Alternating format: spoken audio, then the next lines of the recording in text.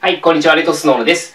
今回なんですけども、農地と再送放牧地、これの賃貸借契約についての解説をさせていただきます。まあ、内容的には、農地再送放牧地の賃借人の保護に関する内容なんですけども、まあ、これはもうポイント5つですね。1、2、3、4、5個。もうこれをもうそのまま覚えていただければ大丈夫です。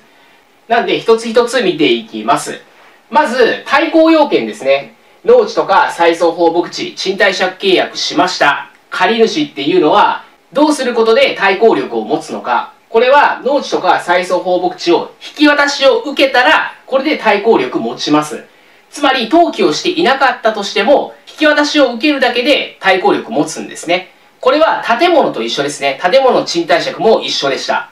建物についても賃借権を登記しなかったとしても、引き渡しを受けるだけで対抗力持ちましたよね。なんで、まあ、建物と一緒だっていうふうに考えていただいて大丈夫です。で、農地とか再送放牧地の存続期間ですね。これについては50年以内で定めましょう。これはまあ民法の内容です。なので覚えやすいと思います。で、続いて、農地とか再送放牧地の賃貸借契約を合意解除する場合、また、解約の申し入れをするといった場合ですね。こういった場合、原則、知事の許可が必要です。つまり農地の貸主と借主が契約期間内にもかかわらず、まあ、解約しようと。当事者間の合意によって解約しようっていった場合ですね。こういった場合、勝手に解除ってことはできないんですね。勝手に解除することはできなくて、知事の許可をもらってくださいねっていう話です。また、解約の申し入れの場合もそうです。例えば契約期間中に、えもう使わないから、え解約させてほしいっていうことで、貸主に対して解約の申し入れをしました。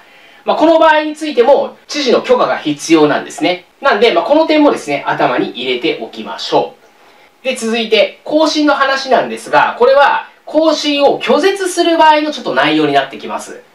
期間満了の1年前から6ヶ月前までの間に、更新拒絶の通知をしなければいけません。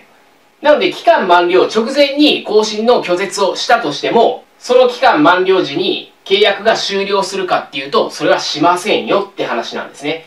期間満了で契約を終わらせたいというのであれば、1年前から6ヶ月前までの間に更新拒絶の通知をしてくださいね。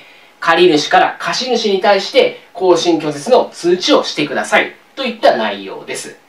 で、最後ですね。最後は農地とか再送放牧地の賃貸借契約っていうのは書面で行ってくださいねって話です。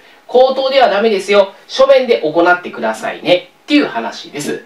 まあ、この内容、もう5つですね。もうポイントだけ頭に入れていただければ大丈夫です。おそらく農地の賃貸借で出てくるって言ったら、この辺だと思いますんで、この5つをそのまま頭に入れていただければと思います。